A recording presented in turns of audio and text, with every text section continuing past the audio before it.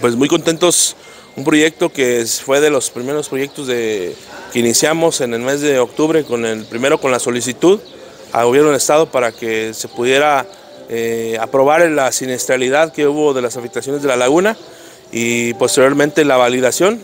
Se abrió la ventanilla y participaron alrededor de 56 personas que se acercaron, a pesar de que la ventanilla estuvo abierta casi un mes y a final de cuentas el que 41 personas este, hayan acreditado eh, correctamente su documentación, que fue el principal eh, filtro, eh, nos llena de satisfacción que, como lo decía, aunque no quisiésemos, o lo, menos, lo que menos quisiéramos es verlos en este evento, porque quisiéramos que todo estuviera bien, de los males el menor. El día de hoy se les hace entrega a las personas que, que solicitaron el apoyo, de un apoyo de 2 mil pesos por cada hectárea de afectación y con ello pues eh, tratar de resarcir un poquito el daño causado y no dejamos de expresar nuestra preocupación por, por eh, las lluvias que han generado las afectaciones principalmente en nuestra laguna y que sepan eh, nuestros agricultores, productores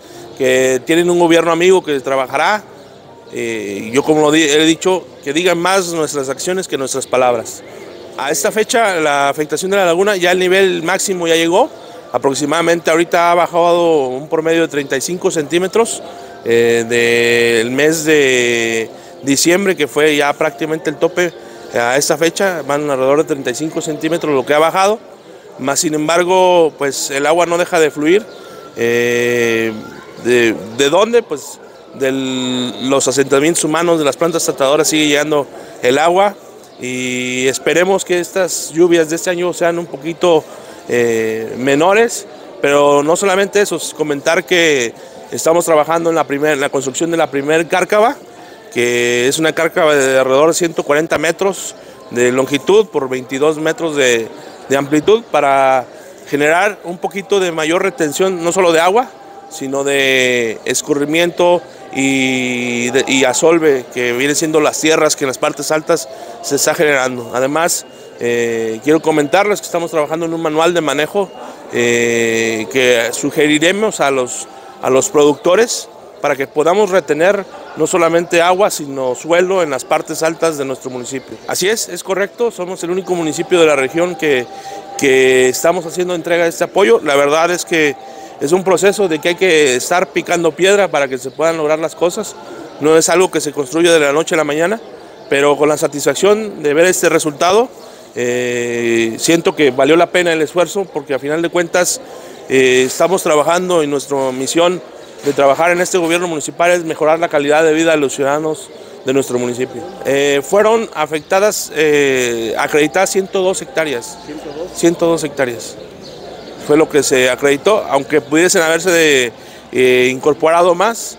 Eh, estimamos la afectación total es alrededor de 250 hectáreas. Pero las acreditadas. Las acreditadas, 102. Estamos hablando de cerca del 40%. Eh, hubo, hubo personas que no tuvieron interés en acercarse o pensaron que no se iba a lograr el proyecto, pero a final de cuentas estábamos, la bolsa de recursos que se gestionó era para cubrir la totalidad de toda la afectación. Bueno, mira, esta, esto surge a raíz de que la laguna de Zapotlán, por el lado de este del municipio, se desbordó y afectó parcelas este, que estaban sembradas.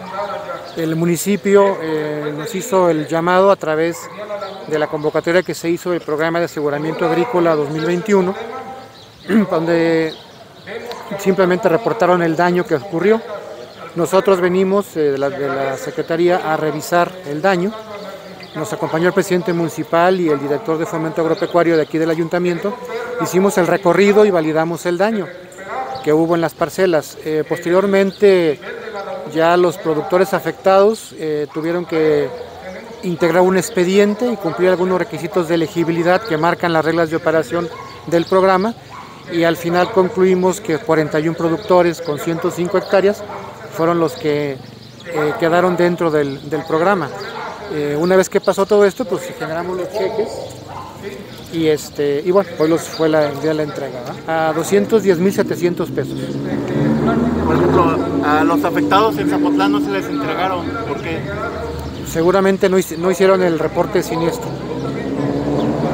tuvieron que haber reportado. ¿Y no hay oportunidad de que lo pudieran hacer o No, el- eh, tenemos fechas este, para hacer todo. La convocatoria se cerró este, de este programa el año pasado y lo único que estamos haciendo es terminar de, de- perdón, de entregar los apoyos. y este, en este caso debió haber sido el gobierno municipal? O los productores de forma organizada, a través del ejido o de la organización a la que pertenecen. producía o qué en su terreno de qué manera? maíz, maíz, eh, y pues se- no se pudo, se, se- no se no pudo sembrar porque se inundó lo que se había sembrado. Eh, Con este apoyo, con este apoyo ya cómo se siente. Pues ya, gracias a Dios, es una ayuda, ¿verdad? No de todo, pero sí, es una ayuda. Sí, les agradecemos mucho. Eh, hectárea. Pues se, se llenó como unos 15 centímetros así de agua. Y pues ya estaba la milpa sembrada, pero pues se acabó. ¿Qué era lo que usted sembraba aquí? Ajá. ¿Qué era, producía maíz? Maíz, maíz. ¿Cuánto perdió aproximadamente? Pues mire, 250 de la del maíz que siembra uno y aparte pues las paga uno por ararla, por sembrarla y pues el abono y, y todo eso. Y ya Ya como- que siempre es dinero. ¿Y ya cómo le hacía usted para producir lo poco que tenía? ¿De qué manera lo solventaba? Pues este, a veces pedimos prestado y a veces pues ahí lo vamos haciendo la lucha de ir usando un 5 2 que puede uno y ya se va uno solucionando. Para el tiempo que ya hay producto pues ya. Ya Pero mientras no, pues no, no hay nada, ¿verdad? ¿Y ya con este apoyo ya se siente más, tranquila o cómo lo toma usted? Pues más o menos, porque pues ya ven, no, no, no ajusta uno a, a comprender lo que haya sido, ¿verdad? ¿Verdad? Lo segundo, pues que la lluvia nos inundó todas las parcelas, ya para cosechar. Y pues, ¿Cuántas hectáreas?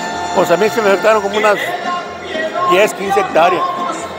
Y un metro, una parte, otra, este, 50 centímetros, y ahí para allá.